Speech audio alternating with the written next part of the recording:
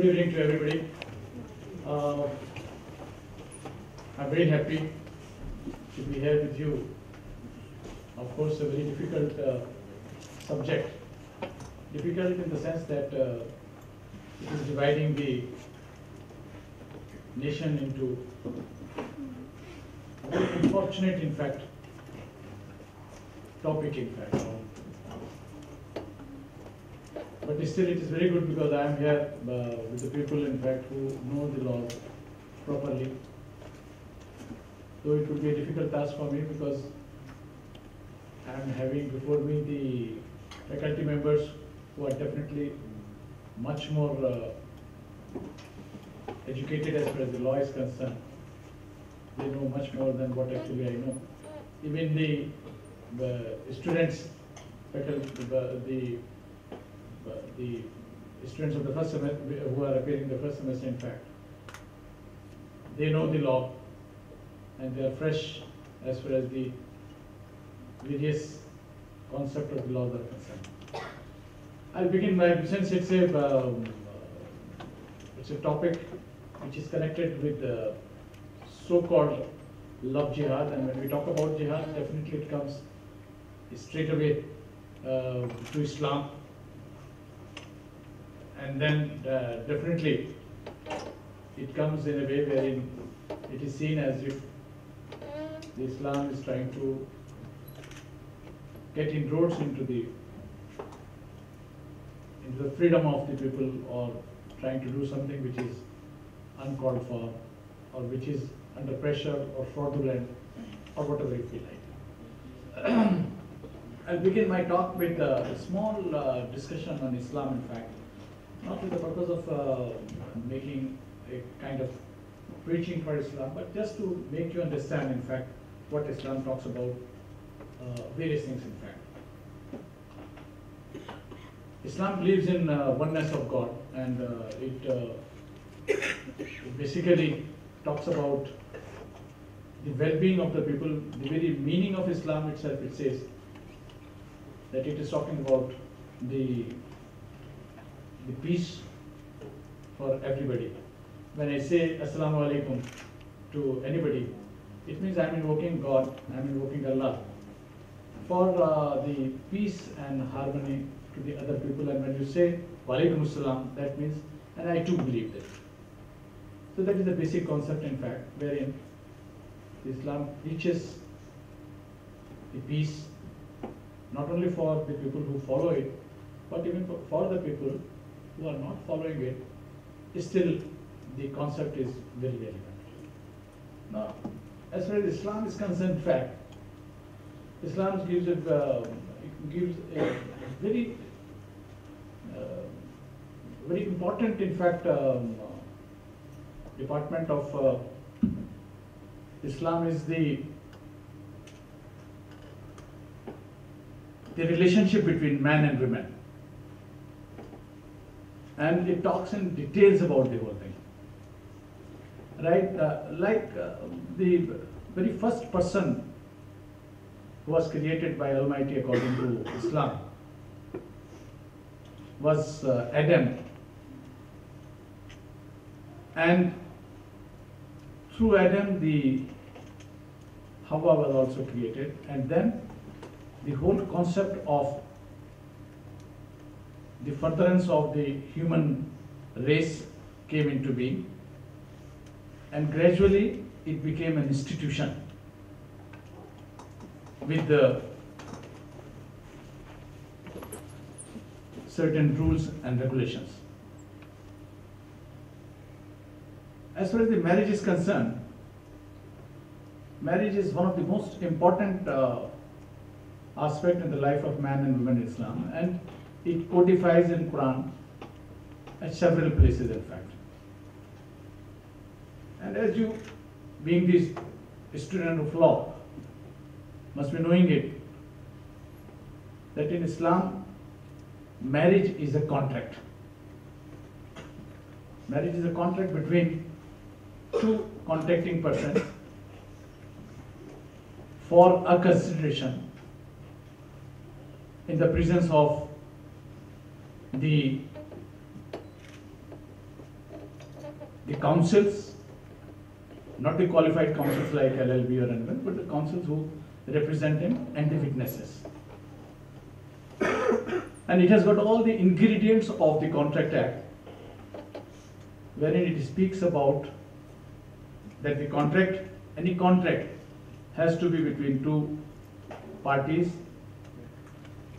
If one of them happens to be minor, then on behalf of that minor, his or her parent, and if they are the major one, they themselves. But even that too, in the presence of the witnesses. It talks about the consideration which is in the shape of meher.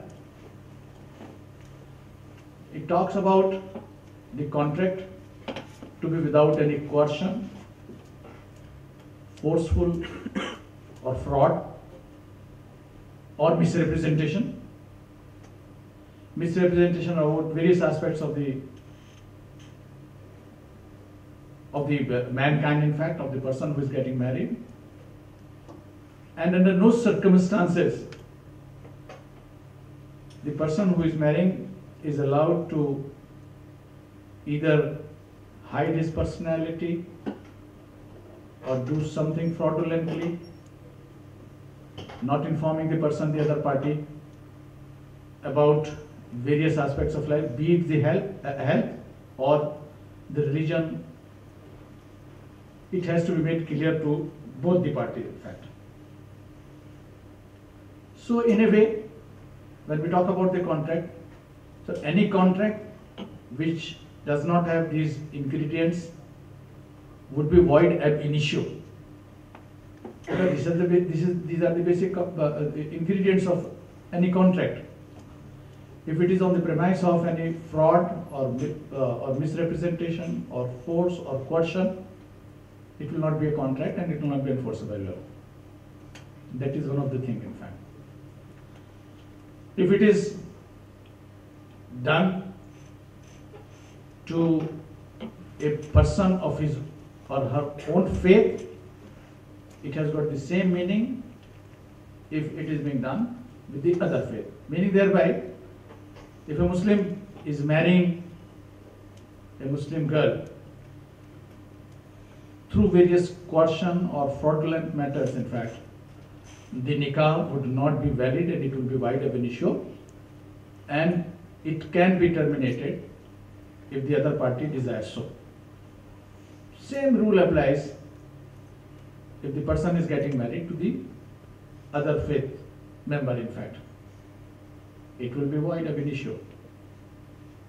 So there is no question of defending anybody who is misrepresenting himself that he belongs to a particular faith or he belongs to a different category or with an ulterior motive of using that sacrosanct marriage institution for any wrong act in fact.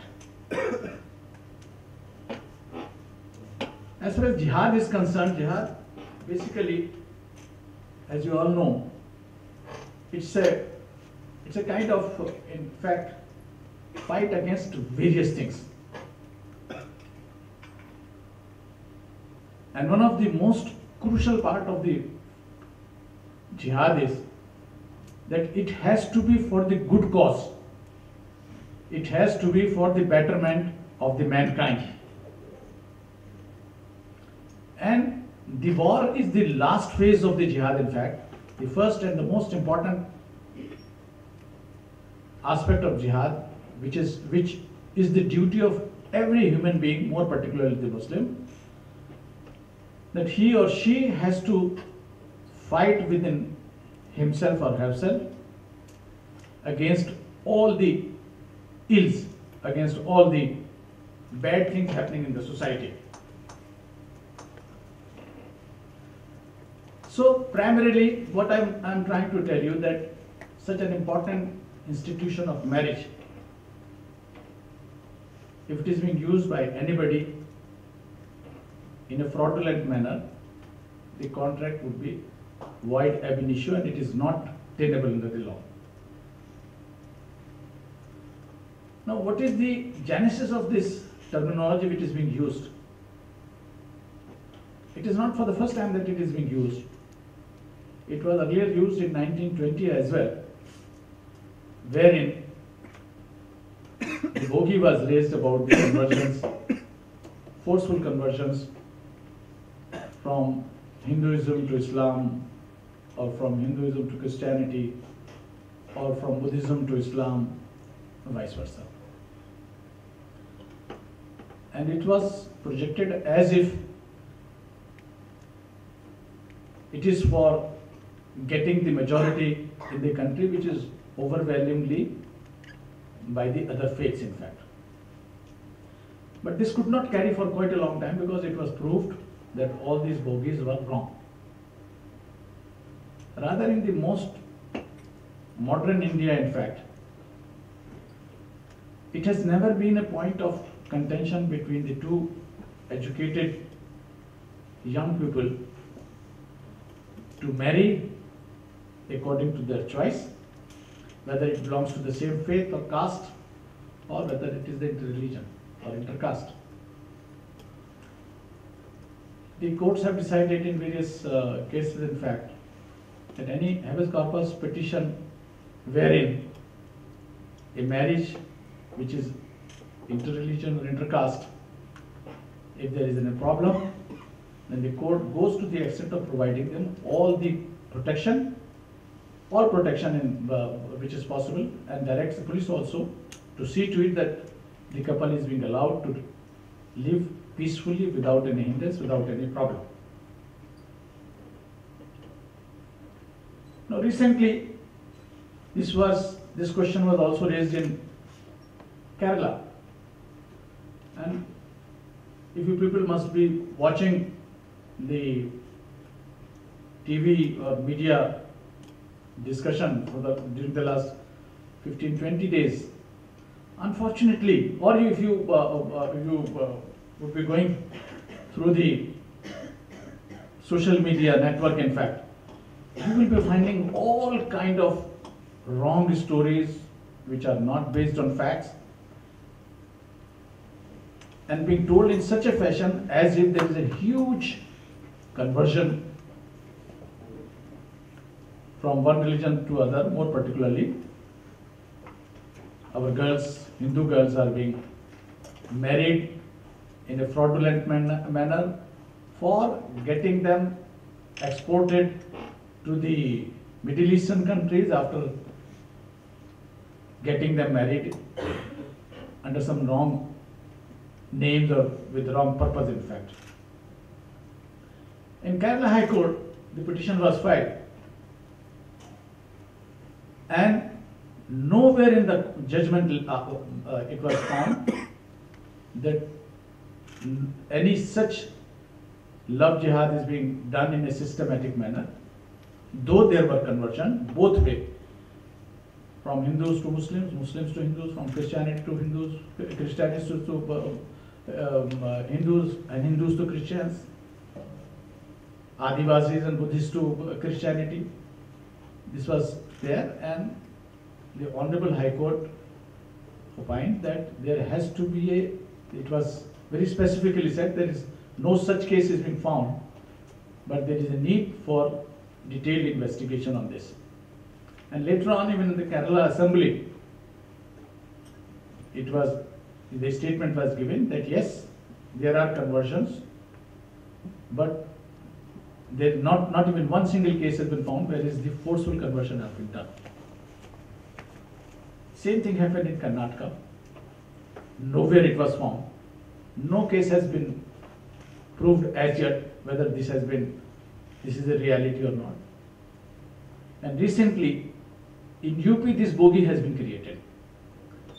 That more than 200 such marriages have been performed under coercion or fraud. I have, I have challenged those people on the television also that if it is true, give the name so that they should be prosecuted. And let there be cases filed, let cases be filed against them, and let this be handled by the experts. But as far as I, as the Muslim and a member of Muslim Personal Law Board, with all my, well, all the authority at my command, would say that any such marriage, if it is happening by any Muslim, and it is being done fraudulently,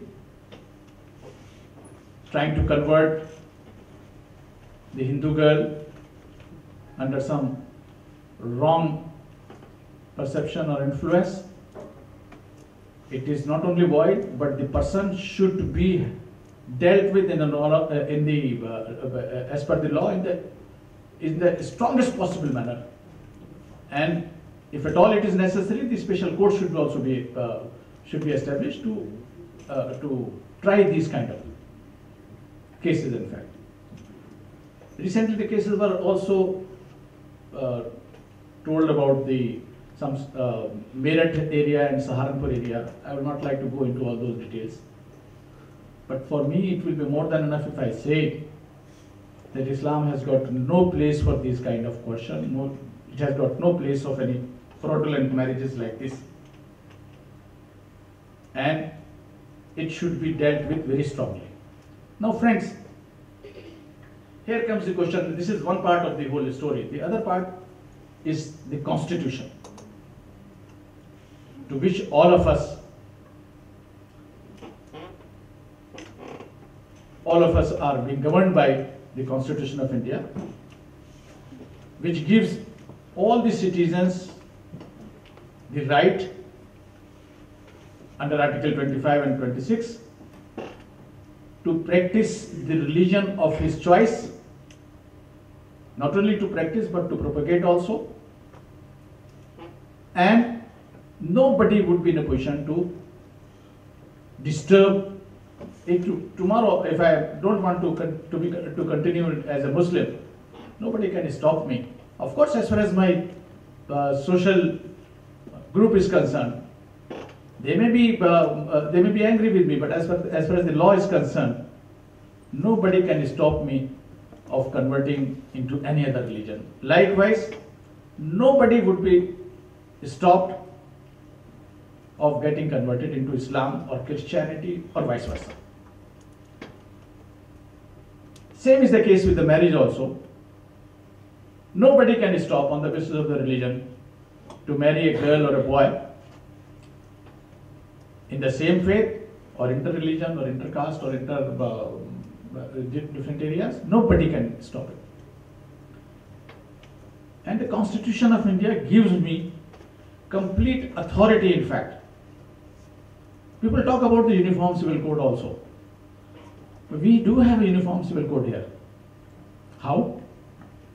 If anybody wants to get married not according to the faith, whether it be Islam or Hinduism or Christianity or any other faith, if both boys and girls, whether of the same faith or of the different faith, if they want to get themselves married through the uh, in, in front of the registrar under the marriage act then he both of them would be governed by not the personal law of the, that particular faith which, to which they belong but to the common laws which are applicable to all the Indians.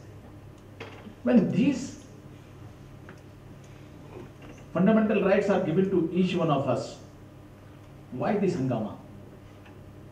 Why this hangama? Number one, these, the, all these things which, the, which are being told, are they based, uh, supported by any kind of concrete evidence or they are only a propaganda? And by the way, who is going to gain out of it? All these propagandas about this, who are going to gain out of it? I will not go into the politics of the whole thing. Unfortunately, I am being referred by by her that I was national secretary for uh, of Samajwadi Party for some time. That was perhaps one of the uh, one of the blunder of my life. I got into politics, and unfortunately, I got into a party uh, which I found that they, they have no values as far as uh, the uh, human right or for the for the development or the kind of things which happened uh, I'll tell you. You must have seen it. There was a there was a case of Bhatkal who was arrested. And when TV uh, uh, person came to me, in fact, normally they come to me early in the morning for taking my bite and then it goes on throughout the day. On that particular day, Asaram was also uh, avoiding the, uh, mm, uh, the arrest and this Bhatkal was arrested. When they asked me about this, I said, it's really surprising that a person who is being charged for this rape case for the last, is being complained for the last two and a half months, he is still enjoying the freedom and he's uh, giving the uh, sermons across the states and he is not being arrested. So this is another, this is a very serious thing. And when they asked me about the Bhatkal, I said, what comment I want, uh, uh, you want me? Yes, he's being arrested. He's being arrested on the basis of complaint, police information, some lead from intelligence agencies, from outside agencies and whatnot. And he's being arrested. So let him prove himself whether he's, uh, he's, a, uh, he's, a guilty, he's guilty or not. But un until he, he is being proved to be a criminal, is a terrorist, my only request is that the area to which he belongs and the religion to which he belongs should not be defamed. Because whatever is what is happening, that if we arrest one single person whose name happened to be a Muslim, it is being splashed in the, in the media as if the entire Muslim community has become the terrorist. And the area to which he belongs, be it Bhatkal, be it uh, uh, the uh, Azamgarh or any other place in uh, uh, Bihar, the entire area gets a bad name for it. So I said, all care should be taken. The person should be arrested on the basis of his crime and not on the basis of his religion. This my statement was played and overplayed by certain media people as if I am going to support. And I said, yes. Another thing I said that please do understand that we do have the cases wherein the persons are being arrested for none fault of, uh, uh, no fault of theirs in fact. There was a case just about 15 days ago of this Bhatkal case. There was a case of Beg who came from along with his family from Kashmir and he was shown as arrested in, on Nainital border. And in Jama Masjid area, the whole program was concocted by the police. And it was shown on the TV media that he was having the arms with him and he was trying to do this, this, this. He was arrested and the, the entire media was doing. Why I am trying to tell you? Because you must understand the psyche of the people, in fact. And ultimately, it was proved that it was absolutely wrong. Rather, the uh, the uh, government agencies himself called the family from Kashmir so that he is being allowed to resettle the whole thing. So, the uh, this of this statement of mine Instead, and whatever I said, I stand by this statement even today because whatever I said, I, stand, I said it according to the constitution of the country. I said, uh, is it about the, uh, whatever uh, understanding of the law I do have, that a person is innocent unless proved guilty. But unfortunately in UAPA it is the other way around. In UAPA the person is guilty the time he is being arrested and he is to prove his innocence. I'm not going to uh, delve on this. Some other day perhaps I will be speaking on UAPA, what kind of law it is. But if the marriage is between the top leaders, be it Shah Nawaz, be it Mukhtar Abbas Naqvi, it is not love jihad. If it is a marriage between Amir, Salman, Saif, so many other uh, people in fact and the, um, uh, the, the actress from the other side, it is not love jihad. If the marriage is fraudulently done by Hema Malini and Dharmender, it is not love jihad. It is not jihad, but an ordinary Hindu girl or a Hindu boy and a Muslim girl or a Muslim boy, if it is being done, then it is being termed as love jihad. Friends, yes, they may have some fruits out of it in the shape of more seats. They may be perhaps winning all the 11, 12 seats in UP. But at what cost? What we are going to give to our uh, future generation, in fact? Do you mean to say that we will stop any two young people without bothering about their religion, without bothering about their caste or gods, to live together, to get married? Should we stop it? Should there be an amendment in the constitution that no, this in this country, this will not be allowed? At one point of time, we are moving to the extreme of allowing the living relationship. And on the another side, we are trying to play with the sentiments of the people, in fact, by defaming them. Say love. Love is love for uh, between two persons, in fact, and it is a God-gifted thing. If he is or she is getting married to each other, and if they are they are trying to follow any other uh, uh, religion or they don't want to follow any religion, it is their sweet will, and the constitution and constitution of the country gives them the complete authority to this. As I said, when we talk about all these things, we do have different angles, we do, we do have different uh, glasses to look into all those kind of things. We have four different words. Terrorism, insurgency, militancy, and kar sevaks. Would anybody tell me? Would anybody tell me there is any difference in it? Is there any difference between these five, four of us, uh, four of these things? Of course, some of the friends uh, here may object to it. Why are you using kar sevaks? Yes, not because that I am a Muslim and I am heard that Babri Masjid was demolished. That masjid was there for 500 years. Whether it was a, a constructed by some stupid Muslim on a Hindu temple or not, that's a question to be answered by the court of law.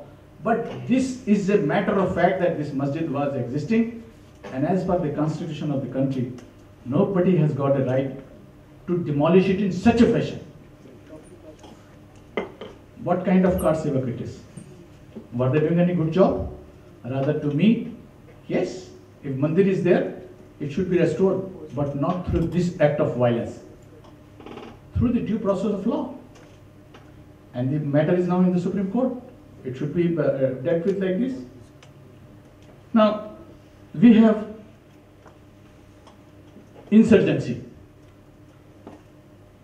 The people, the uh, people who are affected in the uh, in the areas where Maoist activities are going on, we don't call it militancy. We call it insurgency.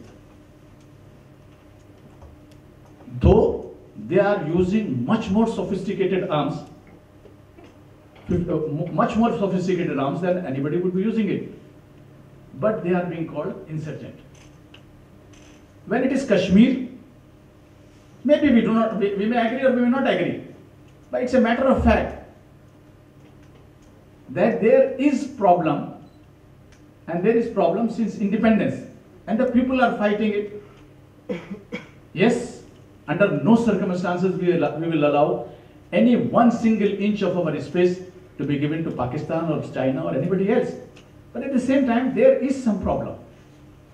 And we have to understand those problems. But when we start defining it, one would be a very religious act, which would be called Kar Sevak. Another would be an insurgency. And the same fact which is being done in Kashmir, it will be terrorism.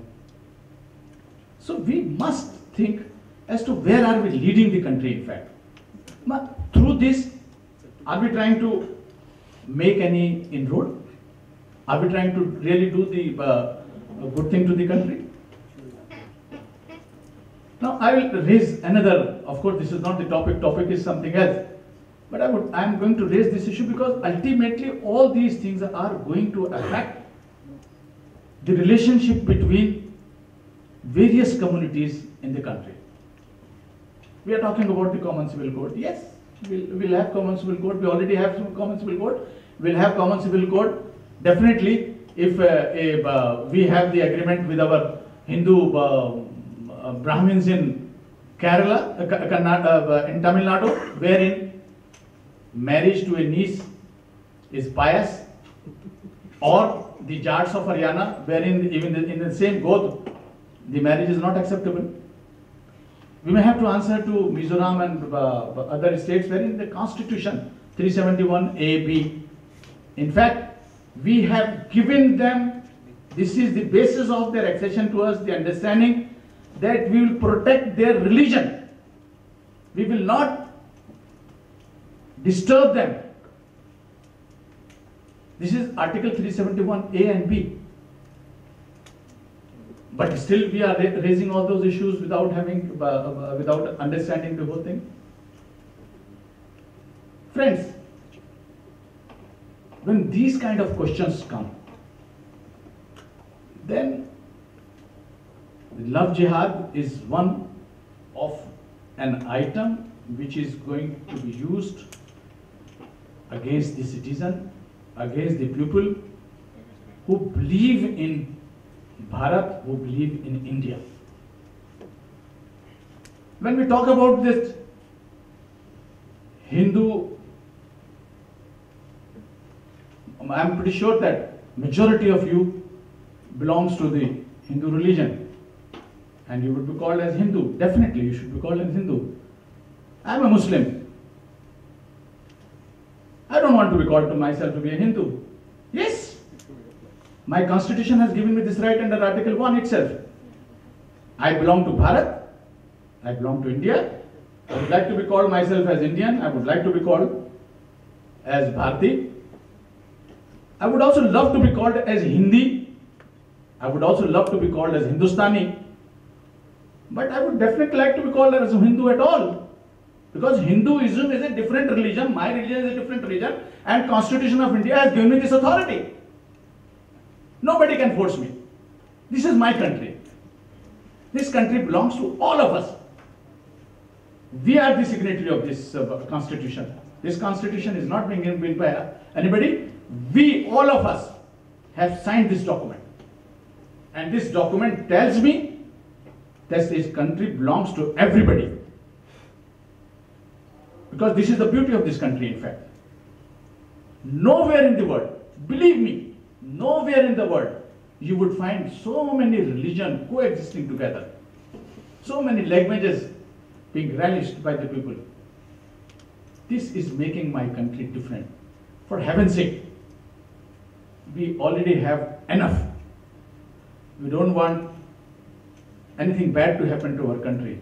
We want to progress because we are a beautiful nation. We are the people, our young people, in fact, they are full of energy. As Abdul Kalam said, in fact, by 2020, we have got all the ingredients to lead the world. Let us try to do that. Let us not try to divide ourselves on these stupid slogans like love jihad or calling Hindu or having the, the slogans wherein the people are divided. Let us all of us work together for the unity of the country. Because if, I, if we are together, we can face China, we can face Pakistan, we can face any other Arab country. But if we are like this and the people are trying to divide us, God save my country.